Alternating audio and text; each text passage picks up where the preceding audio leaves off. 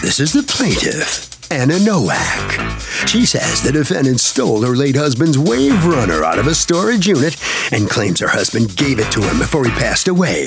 She knows for a fact he wanted their children to have the Wave Runner. She told that to the defendant who has ignored her, and today is Judgment Day. That's right, she's suing the guy for the $2,240 she's owed because what he did was wrong, and he knows it.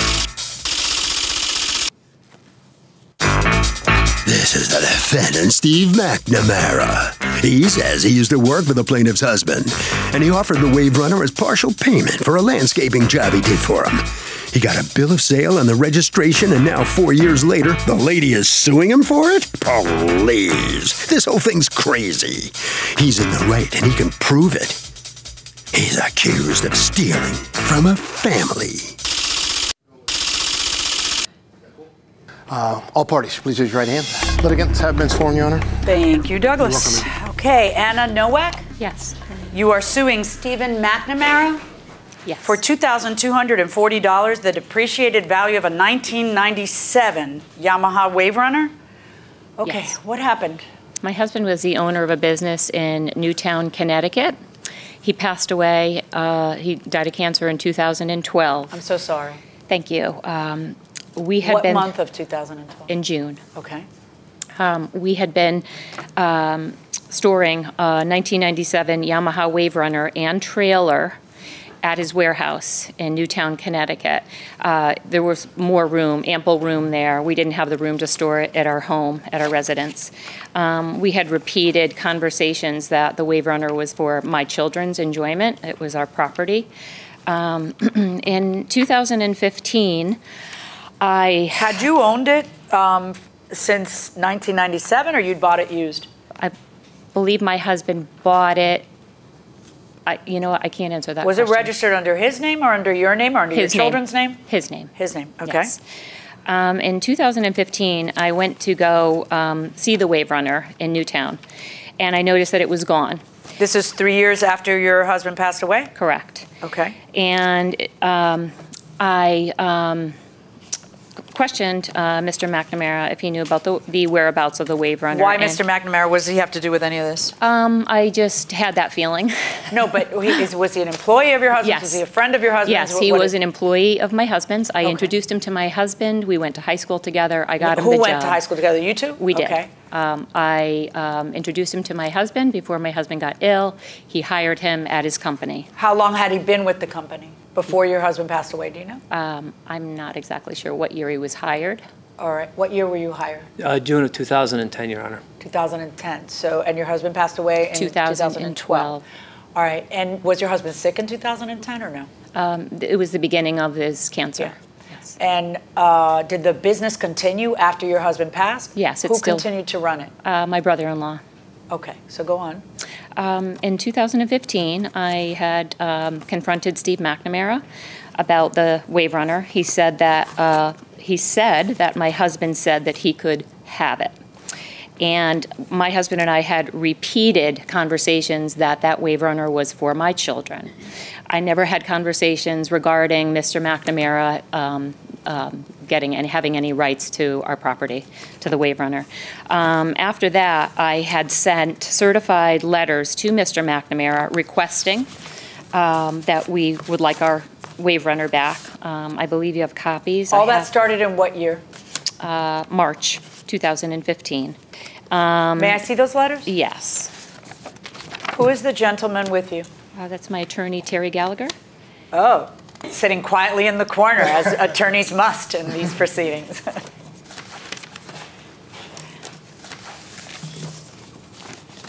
Okay, so on March 4th, you send him a letter saying, "I expect you to return my personal property that you took from the premises, specifically my 1997 Yamaha jet ski and gray 2006 trailer. These items belong to me. I expect you to return the jet ski and trailer within 30 days, and if you fail to do so, I will file a stolen property report." He writes back, "The jet ski and trailer were given to me for payment of services and supplies for work that I did for Ken."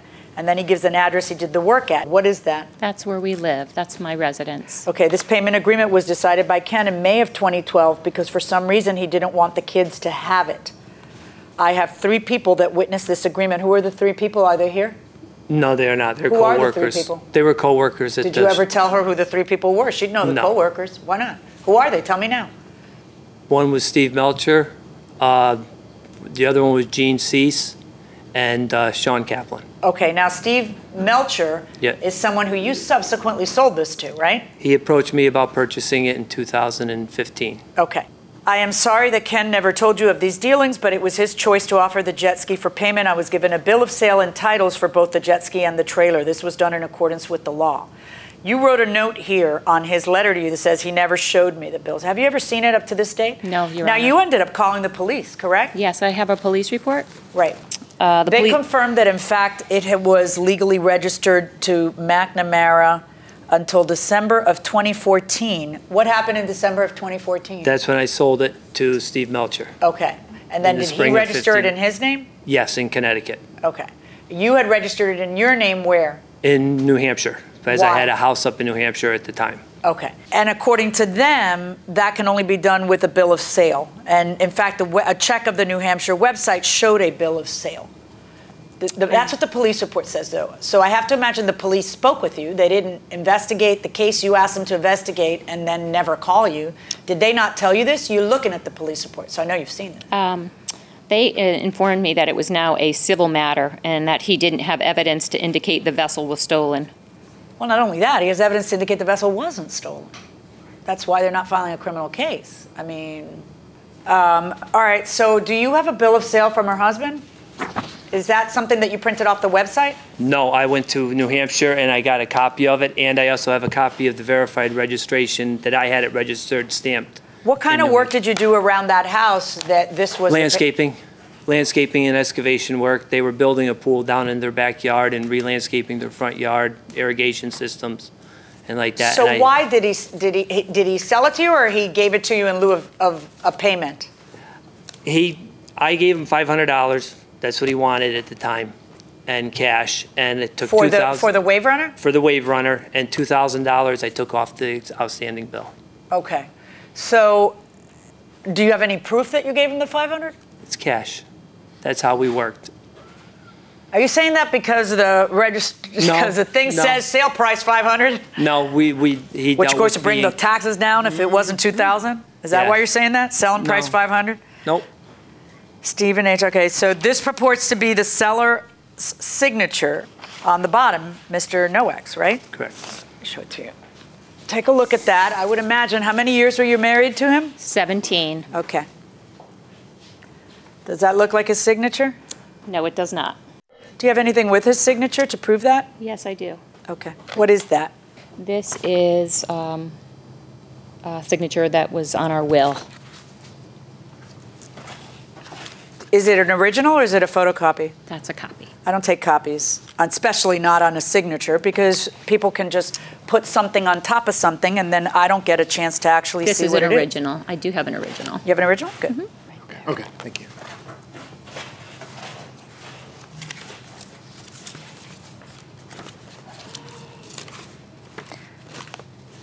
This is who? Your husband? Yes. How old was your husband?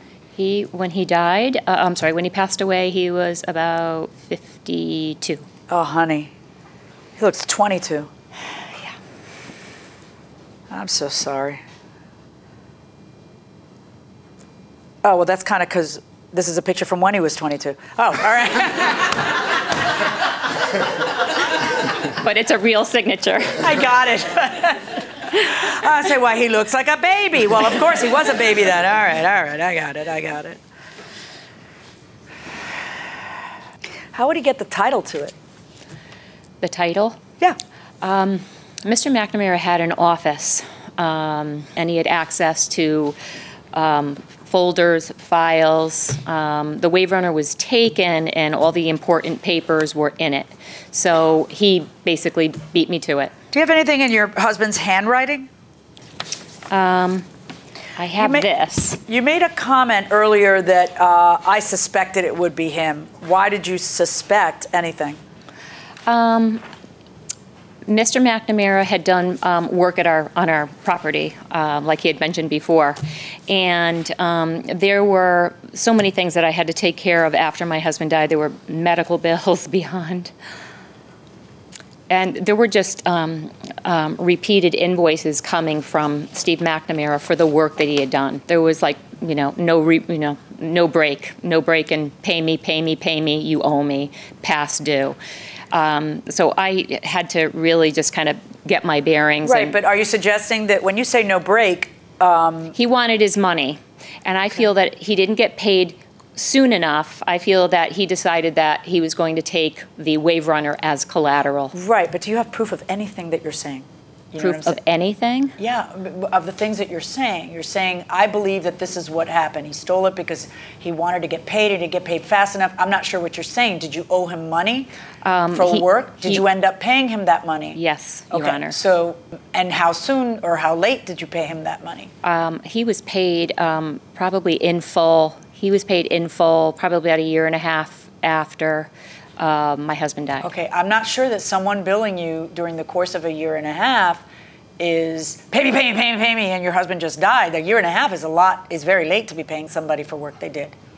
You know, and I realized, and you know, that you had to sort things out and figure things out, and um, but every time your husband signs, he signs differently.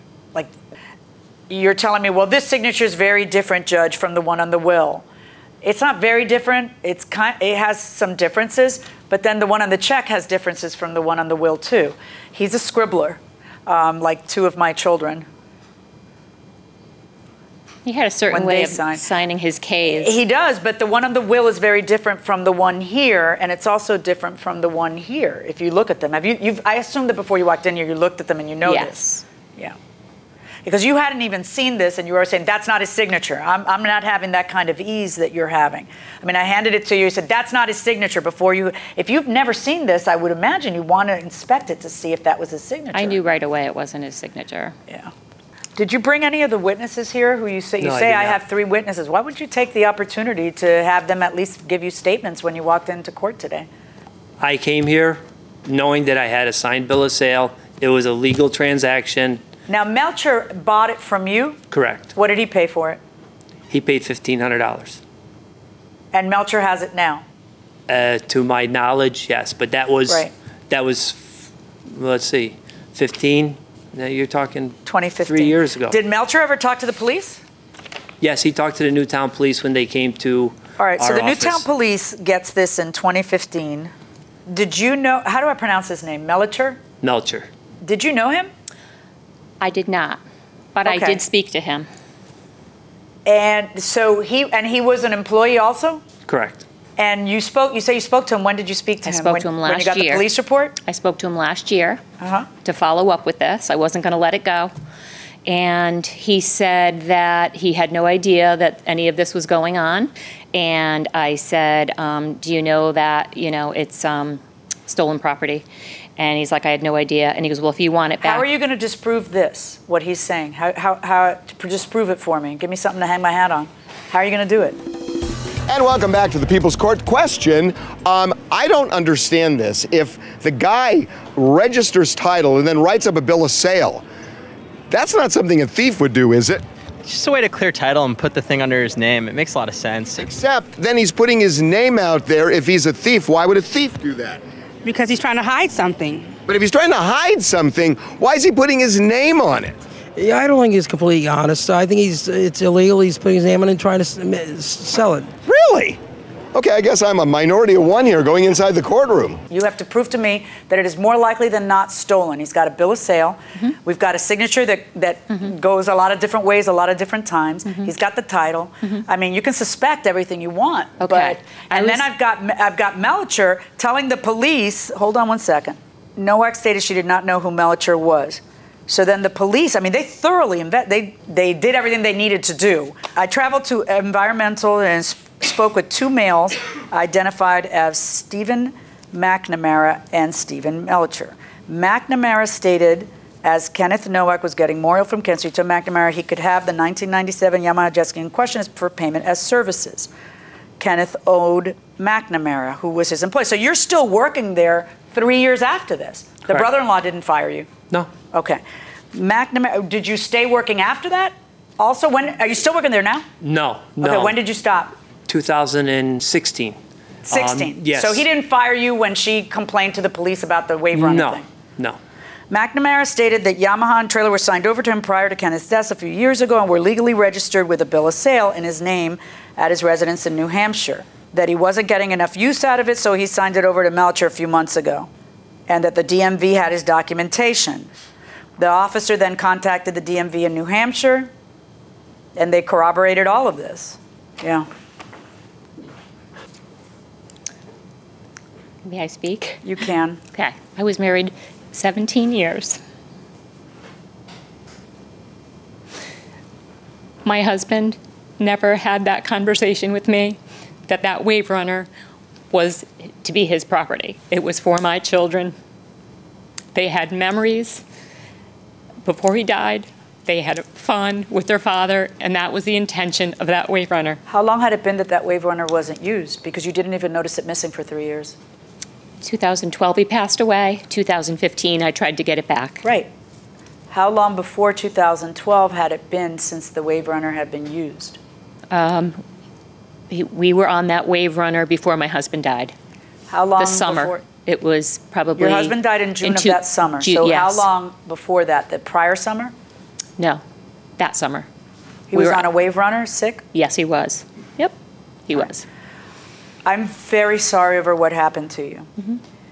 But you having the burden of proof coming in here, there being a bill of sale, there being a, you know, I expect a thief to just take it and shut up.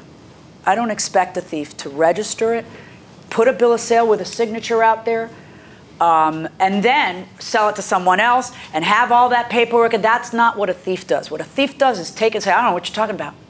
That's what a thief does. And none of that happened here. And you're the one with the burden of proof coming in, and you just haven't proven it to me. So my hands are tied on this. My verdict in this case is for him. I know you're saying you won't let it go. You've attached this great significance to the Wave Runner.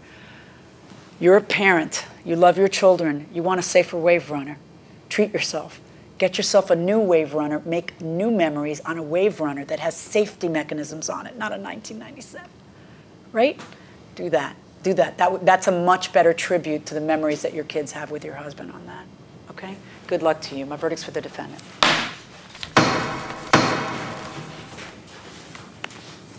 So the judge says Ms. Nowak did not have the evidence to prove her case. What, what are you thinking right now? I think everybody feels really sorry for you, but Um, I um, have a lot of mixed feelings right now because I know the truth.